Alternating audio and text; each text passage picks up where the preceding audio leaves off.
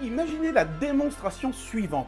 Vous avez trois boîtes d'allumettes vides. Vous allez pouvoir les donner à vos spectateurs, à des enfants par exemple, ou alors à des adultes, à des magiciens même. Demandez-leur d'ouvrir les trois boîtes d'allumettes, de les examiner, de les mélanger, de les échanger. Il n'y a rien à voir. Ce sont vraiment trois boîtes d'allumettes vides et ordinaires. Il n'y a pas de marquage, pas de repère. Vous allez également donner un galet, un caillou que vous avez ramassé au bord de l'eau par exemple, pendant que vous tournez la tête, ou alors vous pouvez même quitter carrément la pièce, un de vos spectateurs va prendre le galet et le cacher à l'intérieur de l'une des trois boîtes d'allumettes.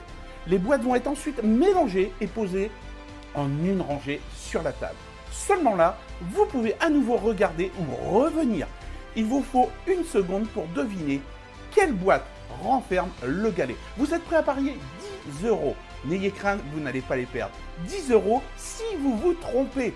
Vous arrivez à éliminer, pouf, deux boîtes, les deux boîtes vides. La seule boîte renfermant le galet est celle qui reste sur la table.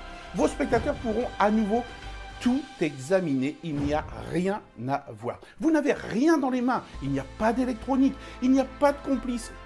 Et c'est surtout inratable. Une autre variante, vous avez deux briquets, un bleu et un rouge. Le spectateur, adulte cette fois, prend les deux briquets, les mélange dans son dos. Il revient les poings fermés. En une seconde, vous êtes capable de deviner quelle main renferme le briquet rouge et forcément l'autre main le briquet bleu. Ça paraît fou, mais c'est vrai. C'est inratable. Les amis, je suis fier de vous présenter aujourd'hui Sensation, mon nouveau tour.